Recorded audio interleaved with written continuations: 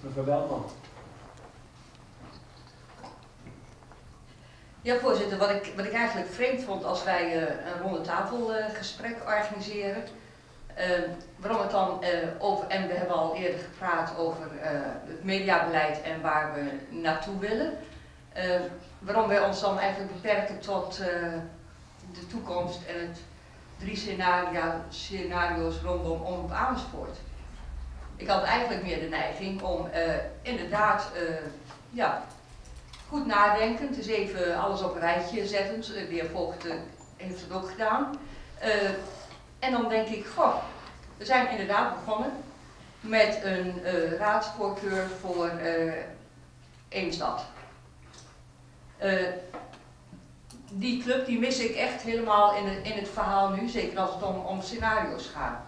Een andere overweging is, we zijn inmiddels al zo'n zo drie jaar verder, of, of misschien al wel langer. Uh, het is bijna tijd weer voor een nieuwe zendmachtiging. Uh, we hebben uh, de afgelopen jaren redelijk vaak op rijtje gezet, zo van hoe staat het financieel met Omroep Amersfoort ervoor.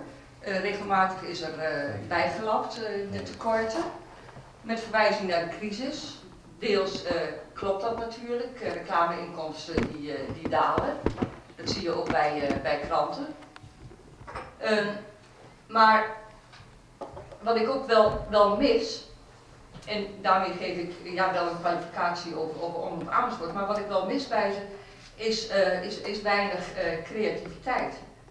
En, en zeker als het dan nu gaat om, ja, gun je de, de scenario's een kans waarin uh, Omroep Amersfoort een rol, rol speelt, dan, dan, dan, wil ik echt die creativiteit om, om geld te werven, toch, toch dingen te doen, een beetje lef, een durf, dat, dat zou ik veel en veel duidelijker willen zien.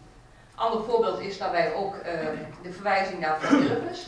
Vrijwilligers waren het grote eh, argument, zeker al drie jaar geleden, waardoor Omroep Amersfoort zei van, goh, wij durven de uitdaging wel aan, wij voelen ons krachtig genoeg. op dit moment blijkt dat gewoon niet zo te zijn, dus voorzitter, ik heb eerlijk gezegd echt moeite om, om vertrouwen, niet, ik heb wel vertrouwen in vrijwilligers, maar in deze combinatie weet ik niet of ik veel vertrouwen heb in het nu opnieuw verwijzen naar vrijwilligers.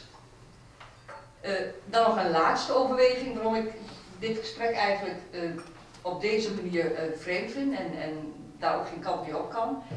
Dat is, in die discussie over dat mediabeleid hebben we juist gezegd van laten we verder kijken dan alleen zo'n omroep. En dan denk ik, ja, wat, wat, wat, speelt er nog meer in Amersfoort? Je hebt uh, met Oude Kruid weet er alles van met zijn glasvezel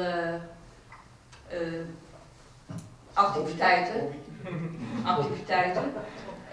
En de manier waarop wijken daar gebruik van maken. er gebeurt heel veel je hebt ook de, de, lokale bladen, Stad Amersfoort, Omroep Amersfoort, die ook zichzelf aan het ontwikkelen zijn om toch vast te houden wat ze willen en die reclame te hebben. Ik denk dat we wat dat betreft nog wel, wel vijf scenario's aan het hele verhaal eigenlijk toe moeten, moeten voegen. Zeker gelet op, ja een beetje pijnlijk om te zeggen, maar het feit dat de nieuwe zendmachtiging volgens mij onder vier jaar of vijf jaar verdeeld moet worden. Voorlopig laat ik het daar ook maar een beetje bij, maar ik vind in ieder geval die drie scenario's, daar wil ik niet voor kiezen.